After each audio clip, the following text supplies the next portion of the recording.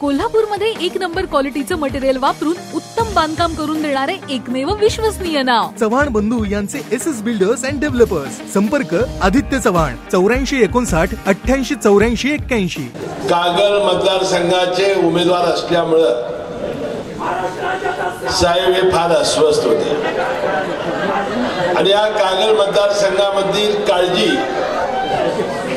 त्यांना नेहमी लागलेली आहे.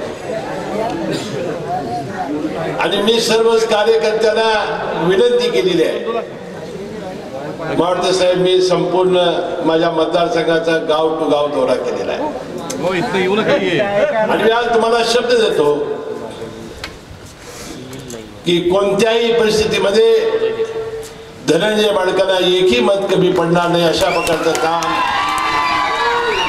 आमचे सर्व कार्यकर्ते करतील. धनंजय माडकांना निवडून आणण्यासाठी आम्ही सर्वांनी कष्ट घेतलं जीवाचं रान केलं त्याच पद्धतीनं याही वेळेला आम्ही करू. आपण निश्चिंत असावं. कारण सर्वच कार्यकर्त्याला माहिती आहे जो हसन मुशी आज आहे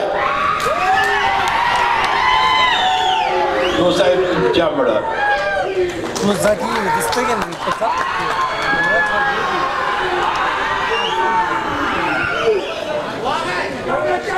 आणि गेल्या निवडणुकीमध्ये सुद्धा धनंजय वाडकांना फार मोठं मध्यातकी आम्ही देऊ शकलो नसलो तर जिल्हाभर संपूर्णपणानं रणधमाळी उठवण्यामध्ये आमचे कार्यकर्ते अग्रसर होते गेल्या पाच वर्षामध्ये त्यांनी अनेक कार्यकर्त्यांची अनेक वेळा माफी मागितलेली आहे दिलगीर व्यक्त केलेली आहे विषय तो संपलेला आहे. आणि मला वाटते पुन्हा एक वेळ त्यांना आपण संधी देऊया. पुढच्या पाच वर्षामध्ये ते आपली सर्वांची सेवा चांगली करतील लोकसभेमध्ये आपलं नाव काढतील. आणि हा कोल्हापूर जिल्हा या देशामध्ये अग्रसर केल्याशिवाय राहणार नाहीत असा विश्वास मला आणि तुम्हाला सर्वांना आहे. देशाचे पंतप्रधान यांनी पंधरा लाखाचं आश्वासन दिलं अच्छे दिनचं स्वप्न दाखवलं. हे सगळं खरं जरी असलं आणि काहीही झालं नसलं हे जरी खरं असलं फक्त मी या प्रधान सेवकांना आणि चौकीदारांना एकच प्रश्न विचारू इच्छितो. ते म्हणत होते की मी चौकीदार आहे रात्रभर झोपत नाही कारण घरात कोण नसल्यामुळे झोपत त्यांना येत नाही हा भाग वेगळा होता. परंतु तुम्ही चौकीदार असताना हजारो कोटी रुपये आमचे परदेशात कसे गेले याचं उत्तर कधीतरी नरेंद्र मोदीला आम्हाला देतील काय? म्हणजे जे नरेंद्र मोदी आपला परदेशातला काळा पैसा घेऊन येणार होते ते तर घेऊन आलेच नाहीत पण हजारो कोटी रुपये घेऊन ही सगळी मंडळी गेली आमचे चौकीदार झोपलेले होते. एकाहत्तर हजार कोटी शेतकऱ्यांची कर्जमाफी या साहेबांनी या देशाच्या शेतकऱ्यांची केलेली आहे. आणि साहेबांचं स्वप्न एकदा शेतकऱ्याला सगळं कर्जमुक्त करायचं. पाच वर्ष एकमेकावर टीका करत होते. युती गेली खड्ड्यात तुझे दात काढतो जबड्याचे.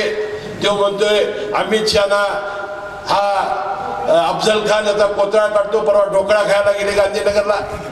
देवेंद्र फसवणीस या राज्याचे मुख्यमंत्र्यांनी आपल्या राज्याच्या शेतकऱ्याची कर्जमाफी केलेली नाही असं ते म्हणत होते. बंधू म्हणजे सत्तेसाठी चाललेला आहे ही गोष्ट सुद्धा आपण लक्षात ठेवली पाहिजे. मी साहेबांना माझी एकच माझ्या माझी चिंता आहे साहेबांच्या मध्ये किती किती राबायचं ते? किती वर्ष? साहेब आता आम्ही तुमचं चुकलंच अशी फिल्म बघितली. किती काम केलंय आपण. या देशासाठी राज्यासाठी किती काम केलंय. संपूर्ण देशाची संपूर्ण परिस्थिती बदलून टाकण्याचं काम आपण आपल्या संपूर्ण कारकिर्दीमध्ये केलं. आणि या वयाचा आपण फिरताय. तुमचे हे कष्ट तुम्ही एकदा काढलेला घाम हा आम्ही वाया जाऊ देणार नाही एवढी शपथ. या निमित्ताने घेतो. आजच आमचे लाईव्ह मराठीचे यूट्यूब चॅनेल सबस्क्राईब करा आणि नोटिफिकेशनसाठी बेल आयकॉनवर क्लिक करा.